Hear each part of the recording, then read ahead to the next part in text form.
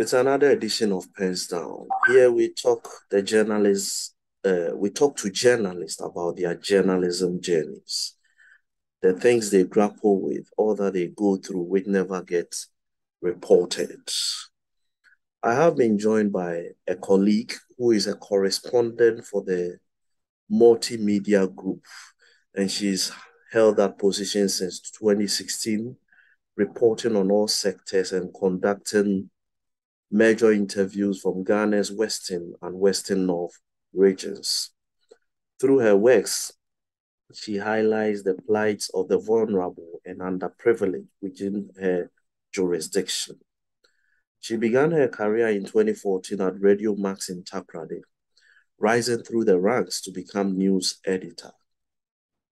She designed and edited content for the station's local news, which concentrated on social concerns as well as business. Between 20, 2017 and 2019, August, she worked alone to produce and read news for the station, co-creating a, a weekly business show called Business Agenda with the then news editor, Francis Waja. She has reported and written extensively about how poor rules hinder agriculture within her catchment area, particularly in the Western North region where cocoa is grown widely. I have been joined on Pens Down today by my colleague, Natalia Quansah. Welcome. Thank you. It's a privilege to be here. I'm also excited that you finally made it here. Um, First of all, how did you discover the journalist in you? What exactly brought you into journalism in the first place? Mm. So, um, growing up from a village in the central region called Gumwapoten, uh, as a little girl, I saw how deplorable where I come from, my hometown was. And the fact that they didn't really have anyone to speak for them Mm. It was always about them. And then I also saw something they used to call communal labor. And so they come together and then they do their own stuff. And then watching TV, people like um, Emma Morrison, affectionately called Miss Mo, um, Gifty Anti, and those people like that. I said, I told my uncle, I want to be like these people. I want to be the voice for the community. And so that has been me from age seven mm. till um, um, till 2014 when I finally graduated with a diploma in journalism, and I said, "Let me kick kickstart. Let me start moving." And so that was it. Mm. Does journalism pay? Does it pay? this question, I know you have an answer to it. I know. Um, it's just like the Bible says that it's a two-edged sword. Mm-hmm. Okay, yeah financially paying you might not see it mm. from the onset but journalism does pay in a way because you and I really know that even though financially you might not get what you put in there or mm. what you mm. expect to get, it gives you a lot of leverages. It gives you a lot of links it's open other avenues. Mm. and so even if you are not getting paid for the journalism work you are doing you can do side hustle connected to communication. And it's because of the journalism you are doing that's how come you got that. And so journalism in a way that's paid but not as expected There's a lot of attrition in the field of journalism. So many trained, qualified professionals are leaving the field in numbers. I am sure when you came, some of the people you met are nowhere to be found. There are others who even met you and have left. What do you think is accounting for this high level of attrition that journalism is suffering? Mm. You see, I have this particular topic I'm so passionate about mm. um, the working condition of a journalist. Okay, so I remember when I came into journalism first, there was this early man, he's gone, may his soul rest in peace, who told me that Ejuma we in our local policy. That's right. Um, do I it doesn't pay? Do I want to do it? Um, there are a lot of oldies who have left journalism and they have nothing to show. Mm.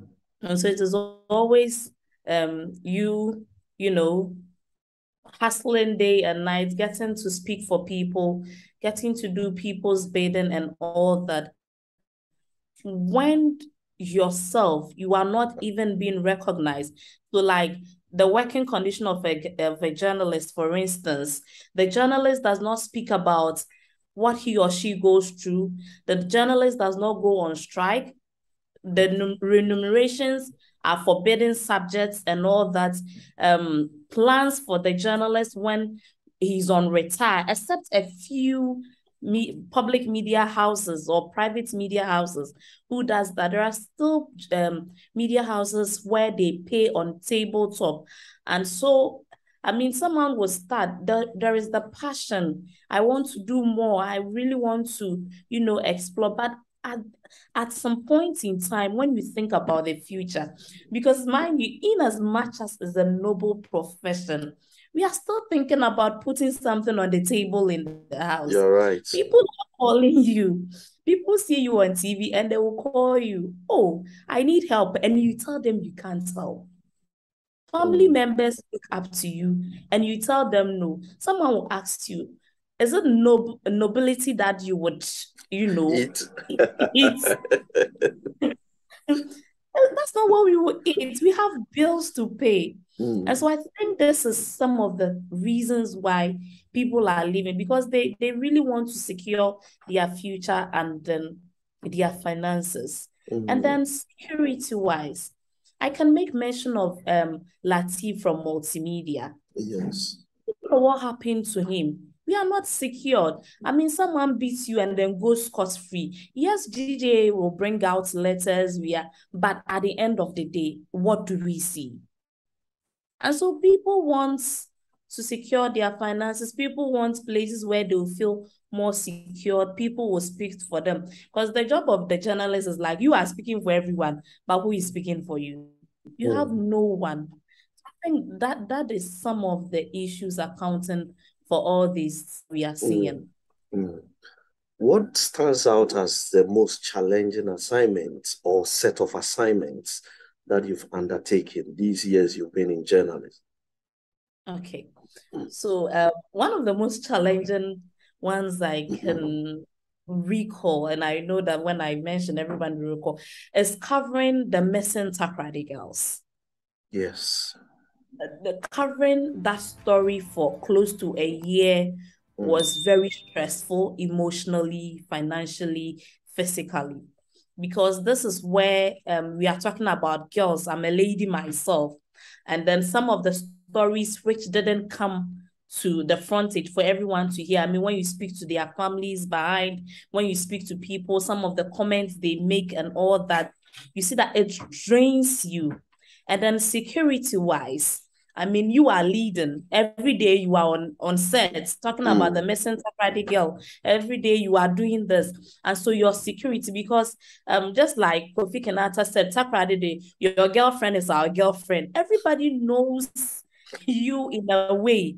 It's a it's, it's a city, a metropolitan assembly, but people can easily figure out where you are where you live. And so for me, whilst covering that story continuously, I felt challenged for my own security wise. I had to be more security conscious. I mm. have to be on top of issues. So this that is one. And then going to rural communities, we all know how rural Ghana is, especially in the western and western north region where I cover, which I can speak for. Mm. Our road network is so bad. And so imagine I'm going to a place like Asem Krom uh, in the our municipality.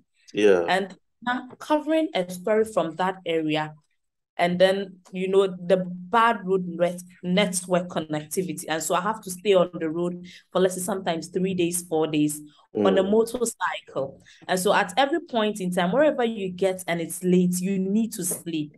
You don't mm. even know where you are sleeping. You don't know the people there. You are not assured that where you are sleeping, you would wake up the next morning, but you have to sacrifice. Mm. And then riding through the bushes at night, there are no police, there are no security and you don't know who is even taking you on that ride. But because you want to get the story done, you keep on doing it. And so your safety. So it has been one of the challenging covering road stories in the rural communities mm. and then whole stories. I mean, you you go and then you see that these people are the producers of cocoa, mm. but you look at their life and you ask yourself, is it worth it? Mm. Is it worth it? And you see where they live and, and, and you get challenged. Sometimes, mostly it might not be physical, but emotionally, mm. you are challenged as a journalist telling the story. So mm. these are some of the difficult um situation and I, I have to endure. And then yes, let me add the last one. Mm. The 2020 election was not easy for me. Mm. When you are stories and you are receiving threats from so-called um, party guys. Mm. Uh, sometimes or you think you are doing your job and they are threatening your life and they can look to you look you in your face and tell you that even if we do something to you even if we harm you no one can do anything to us mm. and you ask yourself are, are you safe is it is this job worth dying for and in the midst of all that, you also needed to be safe because of COVID. Of COVID, yes, Nana. Three days after this election, you know, we don't sleep during election. Exactly. And so, yeah, so I was going to cover a program somewhere. And then when we went, they said we should do a COVID test. At that I had not slept throughout, and then you know, moving from here and there, mm. running all about. They did this test, and these people told me that um we can trace symptoms of COVID with you. Nana, I I got to understand why people commit suicide. Mm. Because at that point when they told me they, they can trace symptoms and signs of COVID, I felt my whole world has come to an end. I I I I was so like destroyed mm. from every part of my life. So I took a car, came back home. The only thing I did was that time relatives, families are visited because it was during the December Christmas mm. season. The only thing I did was to get into my bedroom, lock myself up. They Didn't speak to anyone for two days. They kept on knocking. Ina, what is wrong with you? I said nothing. I don't want to see anyone. And I was asking myself, am I also going to die like those that we have seen dying? What is what is going to happen to me? Because I was also afraid of the stigma.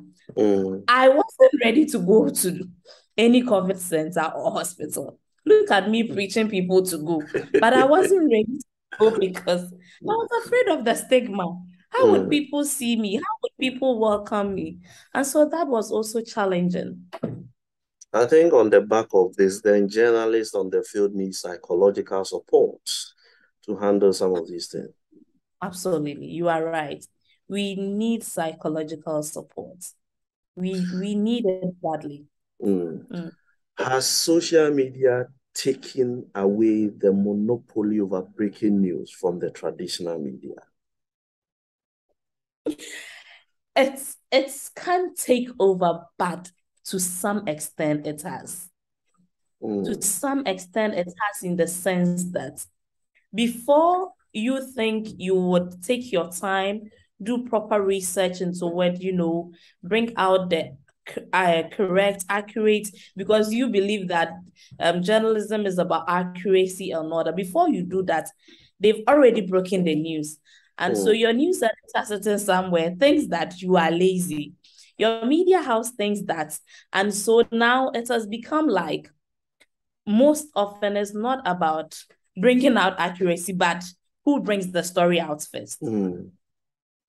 So mm. social media is really, you know, competing with the traditional media when it comes to breaking news, when it comes to stories, even though sometimes some of the stories they bring are not reliable. And yeah. then some of the headlines are so misleading that you see the headline, you open and you are like, ah, so couldn't they have done something better to this? you know it, Nana. You, you, yeah. I know you. That's right. Most. Mm. Uh-huh. And so it's it has it can't be monopoly, but to some extent, it is having an adverse effect on the traditional media when it comes to breaking news. How has social media changed the practice of journalism generally? And for you? Generally, it's it's it's been positive and negative. Mm. Mm. Positive in the sense that now any every anyone at all can access your stories online anyone at all who wants to know about who you are, what you do as a journalist, your work, and all that, you can put it on social media, and anyone at all can just go and then get it. Mm. But in another breath, someone can take your information and then just turn it around, write something which is never true. Probably you've written a story in a certain way, they would take it and then they would write it in another way, mm. especially people who are not trained journalists and who do not know the ethics and then the norm when it comes to journalism. They can yeah. just take your story and then do it what they want, write it how they want. Sometimes it's even, you know, comes down to deal with your integrity and your mm. credibility. Mm. And we know of people picking um um, well-known journalists and other people's pictures in so many forms and doing mm. a lot of things with it. Mm. And so you pick your picture and then they are portraying it anyway. And uh, let me just go straight, like um, this lotto forecast and all that. Mm-hmm. You see people on social media, sorry, taking people's picture, people that they know that these are credible people, and yeah. then using it as if it is them. Impersonation, which is very wrong. Mm. And then on the other side, the kind of stories um, they come out with, just like I had indicated earlier, social media has given everyone the right to do anything. Mm. And so once the person thinks, I have a phone, I have internet, let me just record something and then put it down on social media and it flies. And so sometimes your credibility and then the credibility of journalists it's mm. a stake when it comes to social media. It is good and it is bad. But sometimes how we also use it is very important. Yeah. People are making money there. And so if you're a journalist, then you can even, you know, brand yourself very well. Let's give a typical example of Kofi Adomah mm-hmm. and the rest. They are yeah. using social media and they are still in journalism and they are doing wonderful works. Mm. And so social media is a two-way thing, depending mm. on how you use it or how it works for you as a journalist. Apart from the 2020 election incident which you cited, mm. have you ever received threats in the line of duty? Never. I don't mm. remember any. Yeah, that, I think that's that's the first time. Mm. Yeah. Should journalists be licensed? Why not? Journalists, like um, any other professions, should professions should be uh, should be licensed. You see, I, I was just like you, we have other places that uh, people's voices are insured and all mm. that. As a journalist, if you lose your voice, Mm. Fine, you have power in your hands to write. But if you lose your voice, what happens to you? These are some of the questions that people should start to think about when you, you ask of should journalists be licensed? Mm. Okay, um, let me go back. When journalists are licensed, like medical doctors, um, mm. like lawyers. lawyers, workers, and all that, then we can really streamline who journalists and who journalists are not. Mm-hmm. And so no one at all can wake up in the morning and call himself or herself a journalist. Because Nana, trust me, we know a lot of people who go for some two, three days training. they get phones, they get some credits, and then they call themselves journalists. Mm. They don't go by the ethics of journalism. Most of them, I, I, I don't want people to come at me. Most of them, they, they they go around and then sorry to say, all they are interested in is the solidarity. Yeah. All they are interested in is the no kofio, Mm. but they are not interested in doing professional work. Mm. And then we are licensed, like I was citing, we can quote that a journalist who has practiced for, let's say, this year, for this amount of years, a journalist with this degree, cross board, irrespective of the media house, should be given this amount of money. The SSNIT should be paid because we have a pro, we have a licensed body which Mm. is taking over it. Not saying that GJ is not there, but if we are licensed, we can check journalists, check media houses, and then even check what we put out there. Mm. Mm. So this is very necessary. Let's talk about Solid. That's what I. Oh, you want us to talk about Solid? Oh, we shouldn't talk about Solid. Solid, yeah. Why? Why do you want us On to talk this- about Solid? On pens down, anytime I have mentioned that, whether to a Ghanaian or a non-Ghanaian, in their own Mhm. language, it always Mhm. draws a smile, just as I got from you. Uh, it's a controversial topic. I don't want to prejudice anything. What is your take on it?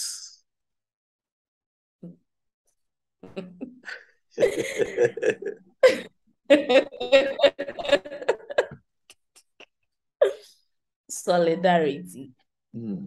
I mean, once a chief said that um a police for one bribe, the policemen they don't take bribe. You see, Hmm. they are black uniform. Mhm. We are just only paying something to them because they have funeral. Okay. And so you see, solidarity. You are just Mm. showing solidarity to us. Hmm. And so, yes, um, depending on the way it is taken, for me, I Mm. believe that you don't have to force anyone for Mm. solidarity. You don't have to be on the neck of people that give me solidarity Hmm. or give me solid for any reason. You see, what even hurts is after a program and you see journalists queuing, waiting like hungry foot soldiers who have just returned from a war Hmm. to take solidarity.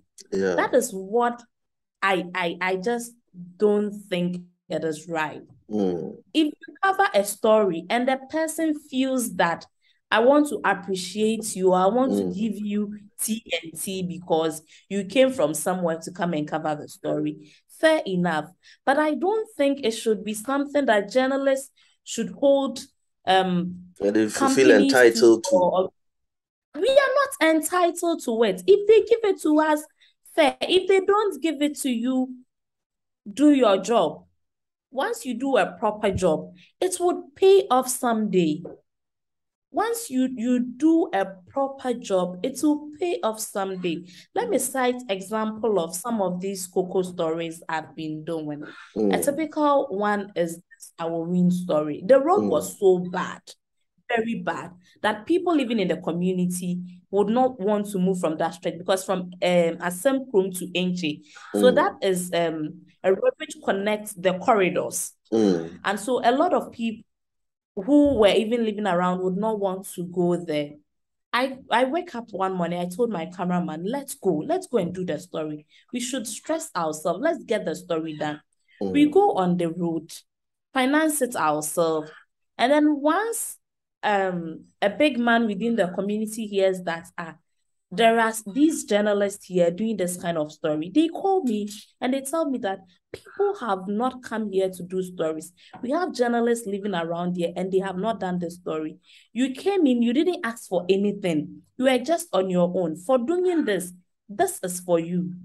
Hmm. It's beautiful. Other than for me to go there and say that I, I am coming to do this, your road story. I Hmm. want you to give me this amount of money. Am I entitled to? Yeah. It is my job that I am doing. And if you do a good job, we all know that it's definitely some way would be good in some way for us. Mm. And so we are not entitled to solidarity. Does Solly have any power, even remotely, to influence the work of a journalist? It's it's it's two ways. Solly, hmm, ordinarily shouldn't have any power. Mm. Ordinarily, solidarity shouldn't have any power. Mm. But on pens down, we say it as it is. we are we are we are not going to cover up. I mean, this is our. that's right. Hmm. Yeah. Sometimes trust me, some solidarity can teach you what to do. Mm. Some solidarity can can influence your writing skills. Mm. Some solidarity, and, and so it it boils down to discipline. Mm. It boils down to discipline and then knowing the ethics of this job mm. and then having a vision. Because for someone, it is just. I'm just that's right. I'm just this professionally. Yeah. But for some of us, this is my job. This is what I want to be known for someday. Mm. Mm. I want my generation to come and be proud that this is what I uh, this person from our family did. Mm. And so for some of us, probably it might not influence, but in essence, in this generation that we find ourselves, solidarity does influence some journalists. Mm. If you are not disciplined, if you don't know the ethics of the job, if you just want to pass through journalism and then leave somehow because you feel let me do anything and if you are not committed if the passion is not there someone can give you some good solid mm. and then you can turn things around and you put in more ink more ink you see you buy you buy some chilled coke and then you type well Then they will call that one commercial journalism. It's not journalism. It is no longer journalism. It is commercial. That's yeah. right. But you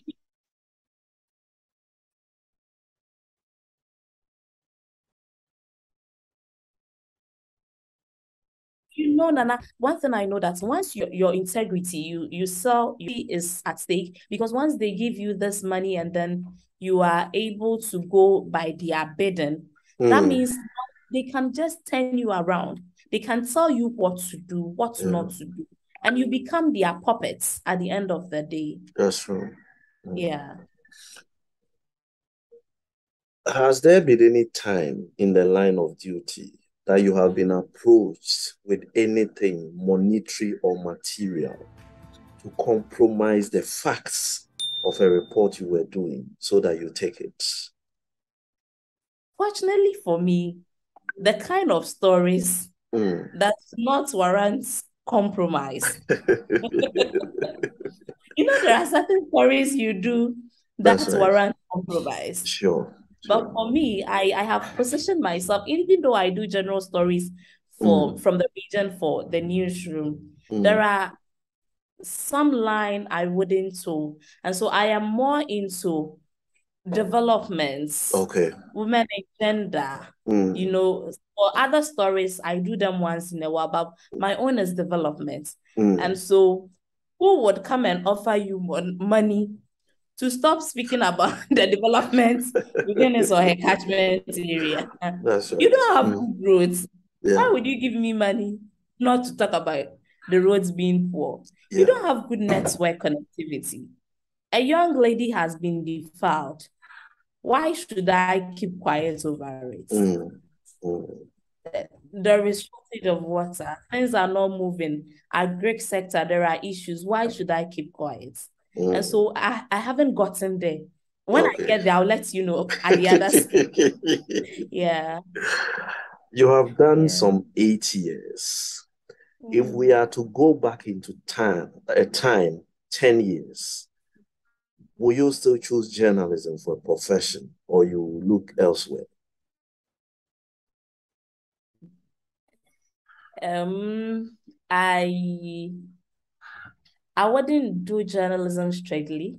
Okay. Like it's it's, it's I wouldn't leave journalism because you can't leave journalism. Mm. Once you, you have the passion in you, once you you really know what you you you you want. Mm. Journalism is difficult to leave.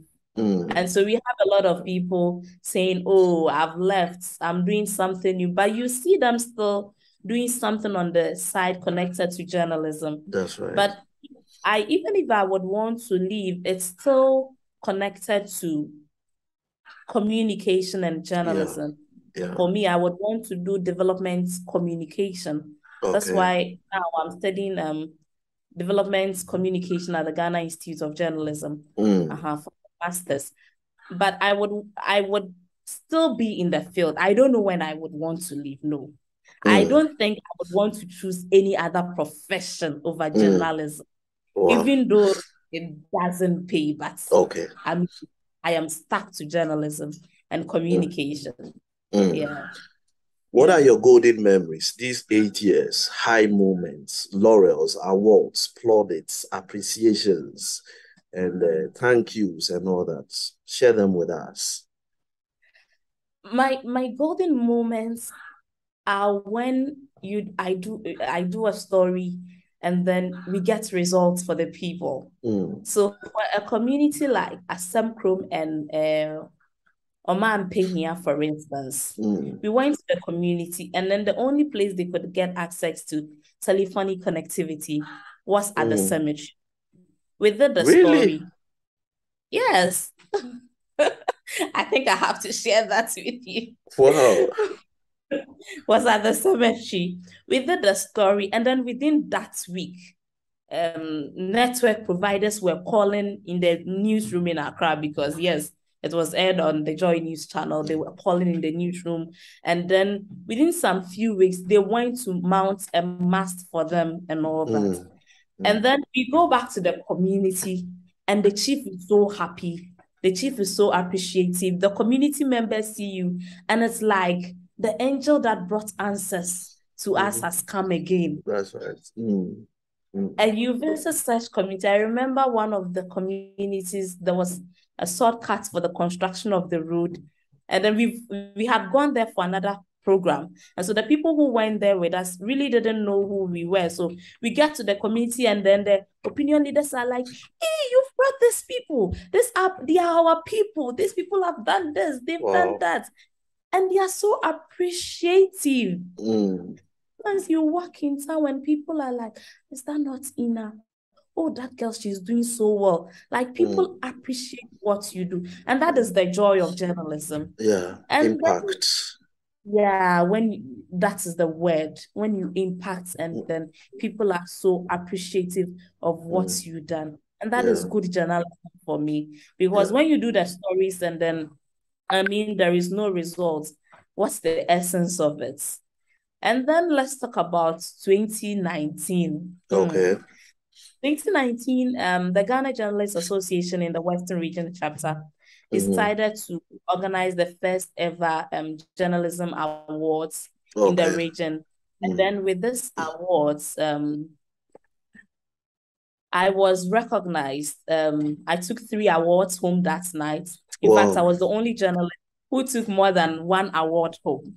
Wow. And so, yes, I was recognized as the most promising young journalist of the year. Mm. I was recognized as the news reporter of the year. And then wow. I was also given the recognition of the rural reporter of the year. I've told wow. you for me, I like to do rural stuffs. Wow. That was wow. in October. Mm. October. The following month, November, I was there and then I had a call from GJA National um, young lady, can we have some of the stories you have done? We want to see the works you have done over the years. And then then Miss Moema Morrison was with Joy News. Mm. She called me and then started asking me questions. I was answering it. For me, I just thought, I mean, a mentor is just asking me questions. Yeah. So I was just answering. Mm. Fast forward in November, yes. I was there, I had a call. Ina, come to Accra. We've left your ticket at the Joy FM um station, and so you should Joy FM. So come for your ticket and attend the GJA Awards. I said, okay. We've left two tickets for you. I said, okay. I mean, I had attended one before, so okay, I, I was mm. going to attend. I get to the venue, sitting my somewhere with police from the newsroom. I hear the Komla Dumor most promising young journalist of the year is in Natalia. I'm like, huh? Is it me? So you had no clue that it was coming? Clue. I had wow. no clue. I was just, wow. but proud to um going there. Mm. People I didn't have their contact sent me message, congratulations. I, so I thought it was for the Western GJA. Then congratulations, mm. you have done mm. well. Congratulations, you've done well. Wow. Not knowing it was for the Komla Dumor most promising young journalist of the year. Wow. And for when we take out everything, the Komla Dumor attached. And so for all the awards I have in my room, that makes it iconic. Iconic for me. It's the Komla Dumor mm. for me. Mm. And then that same month, November, mm. it was when they launched the Made in Ghana Cocoa Awards. Yes. And for the Cocoa Awards, I was part of the four journalists nominated. Okay. I was the youngest among them. Mm. I was mm. the only female journalist among them. Mm. Even though I didn't come home with the award, Justice Baidu, my senior colleague, had it. Yeah. But I was so happy that in the whole of Ghana, and for the first time, recognizing journalists who are doing something for cocoa communities mm. in the cocoa sector have been recognized. For me, it is it was good. Mm. I, I really appreciate it. Unfortunately or unfortunately, Justice Baidu did not come. And so I had to go and receive I had to go and receive his award for him. Can you imagine? You did not win, but you were a recipient. Fantastic. I, I received it, yes. and, then we have uh, an award scheme in the Western region, also known as Phantom from Amanzi Awards, mm. recognizing mm. people doing so well in the Western region. And so I was also recognized. So so far, yes, I've received some few recognition here and there. Wonderful. And well done. I think uh, you are doing well, which is why the appreciation keeps coming. Mm. But let me find out are you doing journalism for life or there is an end time for you? Um, end time, where end time means? The time you will drop the mic or you drop your pen and then focus on something else. I, I had said earlier that mm. journalism is not something I intend to stop. Mm yes, I would do other things, but doesn't mean that I will stop journalism. Because once you have been trained, once you you are you you have all the expertise in journalism. Mm. Mm. I mean, let's say today I leave multimedia and let's say I am a communication expert for a company or anything, and I see something worth reporting or worth writing on, mm. and I write and I send it to multimedia, mm. they can't say they won't publish. Not to say that I have an authority over them, but once it's a good item, it would be published. And yes, now we, we we also have our own sites and other things where we do publish our own stories and other things, even those that have been published by the companies we work with. We also share them on our pages and all that. And so we can say, oh, we have other things doing, but not to say that we are leaving journalism. No, mm. we are doing journalism till the Lord calls us. oh, you don't like? Yeah, I do. I do. It's yes. a lifestyle almost. Mm, yeah. Yeah. What's your most cherished experience from rural reporting? Okay, so for me, um, when it comes to eating like our mm. colleagues yeah. It is something we do every day. Really? Like the challenging, yes. Wow. You see, you you you want the people to feel that you are part of them. Mm. You want them to feel that um I'm okay because sometimes they feel that oh, she's coming from the city, and so she would be a bit in rabasam kakra. That's you know, right. mm. she wouldn't feel so comfortable around us. But I also have this um phenomenal that mm. once you get to the rural community, drink from where they drink, mm. eat from where they eat, so that they'll feel that you are part of them. Mm. When sharing information with you, it is so easy. Mm. Once you are able to break that ice, Nana trust you, it is so easy for them to tell you even things you didn't come there to do. Yeah. They will give you leads upon leads. Mm. And so for me, eating and drinking with them has always been the norm. But oh, you you end up sometimes the water you drink, you end up come back home and you react to it. Mm. But one one child one thing I remember was um when we had to sleep over in a cottage sort of, mm. and we had to the bed is like a raffia, which mm. has been arranged. Wow. you don't have you don't have the comfort of a mattress. That's right. But this is what they are sleeping on. And, and possibly so, their best. They've given yes. They I mean they, they they they've given you what they feel is because they tell me that is a guest house for them. Ooh. Wow.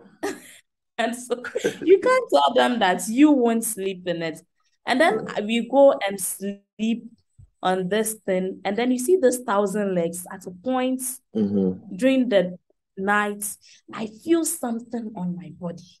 Mm. Just to wake up, take my phone and put on the light, and it's thousand legs moving on my body. Wow. I didn't sleep again. That's a is it a millipede or centipede? Which is a which? millipede. That's what wow. that's what they call it. I didn't sleep again. That was it for me for the And night. you couldn't complain either to them. Why would you complain? you complain and it makes them look like for them who live there, they are not human beings. Sorry, human beings. Mm. And so you have to endure it and then you know keep it to yourself. The following day, they show you a washroom to bath, and you are like, God let me tell you that sometimes I have to do ablution. it happens all the time when you're on the field. Because, it happens all the time. Uh, because the washroom, I mean, you are washing down to clean yourself. But the washroom itself, by the time you finish bathing, I'm sure you're already dirty. Mm. And so, mm. in essence, you don't even feel like so hmm. the, the, that that is some of the uh, challenging memories with mm. rural reports. Yeah. How do how do all these realities you come face to face with? How do they firm up your resolve to continue to be a voice for the underprivileged? So yes, when I see some of these things, I feel that there is more to do. Mm. In the rural areas, they are our backbone as a country. They are providing all the food that we eat. They are working so hard. And so, in essence, I even feel that those places should have been more developed. Mm. Those places should have had the best of everything. You get education, it is not working there are thousands and one of these communities still studying under tree. Mm. There are thousands and one of these communities still having some makeshift something they call mm. hospitals. Mm. There are thousands and ones of these communities who are still struggling with water, even in this Galamsey era, mm. where our waters are polluted with enough mercury and other chemicals, they still have to survive on it. And so, in as much as I go through these challenges, when I go through, I come back to the city and I enjoy my life comfortably. I don't stay there for months. The most I will stay in a community is like a week. But these people are still there. And so, if I tell myself that because of what I have gone through, I would shut up, keep quiet, put my pen down, put my microphone down, put the camera down, and then go and look for another job, what becomes of them? Mm. Who is telling their story for them? If I can bring a change in one person's life, I think it's better. Mm. What is the essence of, I'm getting emotional, sorry. What is the essence of leaving my pens and everything down mm. when people are still suffering? Yeah. When people are still suffering and when people still need their, their voices out there. Mm. So for me, that is what keeps me going. And I'm not stopping this. Mm. Yeah. My final question. Mm. A lot of media houses are springing up and they have the signature and fingerprints of politicians and politically exposed persons. Mm. The increasing political ownership of the media. Mm. Is there a reason to be worried? Are we in trouble? Is there trouble on the horizon? We can see the red flags all, all over. Mm. we can see the trouble all over because now if you work with these media houses even those that are not even for them mm. they try to have a stake in there yeah. you do their bidding you are a journalist let's say well trained you are a presenter well trained you know what to do mm. but your paymasters will detect to you what to say and what not to say Mm. They will tell you who to interview and who not to interview. Mm. I know of some of these media houses springing up that probably they are for it's for party A. And so for that station, party B does not speak on it. Yeah. And then if party B um there is anything about party B, it's nasty. It's yeah. it's it's just nasty you you you don't even give them the but we know that journalism is balanced we have yeah. to hear each side story but That's in right. such most of these media houses that are springing up that mm. belongs to you know political parties and all that no journalism is not balanced it is one way and so it's it's it's it's it's hitting on one we are already having challenges of non-professionals in the system. Yes. And now they are adding up. And mm. so even if they get people who can just speak, you know, we have that in the media a lot. They yes. only need someone who can talk, blah, blah, blah, blah, blah. And the person is put on radio. Indeed. And so people uh, some colleagues in Ashanti region have told me that mm-hmm. funeral MCs and funeral announcers are now some of the choice materials for morning show host and several other roles in radio stations across the region. You see, so that is what what what the future of this noble profession is now. And so it, it takes us back to the licensing. Mm. Mm. If there is, if we are a licensed body, Mm. We we can, you know, have a stake in some of these things. But we are not a licensed body. How far can GJA go? Nana, how far? I had mentioned that was my final question, but with your mention of GJA, let me get mm. you into the field of controversy uh, mm. to end this. Mm. Has the GJA represented journalists enough? Have they actually stood up for journalists when it matters most? Mm. Mm. The the GJ has not stood up for journalists like expected when it matters mm. most. Mm. Yes, they've done some work, they've done something, but when we expect them to really be up for us, I have not seen that. Press releases, yes, it will come out. Beautifully written beautifully signed, stamped from the GJA. But it's not about writing, it's about action. Mm-hmm. We can write. That is what we do as journalists. But let's take action. There are several instances. I mean, we've seen press releases out there, but what happens at the end of the day? Unless they are doing something that they've not come out to tell us. Unless shouldn't they have, be the case. At all. If they are, so far as we see the letters, let's see all the actions you take. That's right. If you want us as journalists to stand up and say, oh, GJA, Fred, they are up they stand up for us, whatever we need, and all that. They are always there. Once you are in trouble or once um, you have an issue, the Ghana Journalists Association is with you through it all. We've seen them do this because we have to cite something. But which case can we cite? Probably they have done some for other colleagues. They should let us know. They should make it open, the GJA portals. Let us know all the actions you've taken over there. Thank God we have a website, but let us see some of these things you do. As without the press release, the press releases are fantastic. They are very fantastic, but we need more action than words. Ina-thalia Quansah, what a conversation we've had. Thanks for joining me on Pens Down today. Truly grateful. Thank you for having me. Thanks for being with us today. This has been Pens Down. Here, we tell the storyteller story, journalism journeys.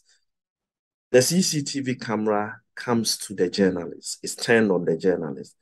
What you don't hear, what you don't get to know, the things they grapple with, which they will never insert in their news stories because the principles of news reporting do not allow it.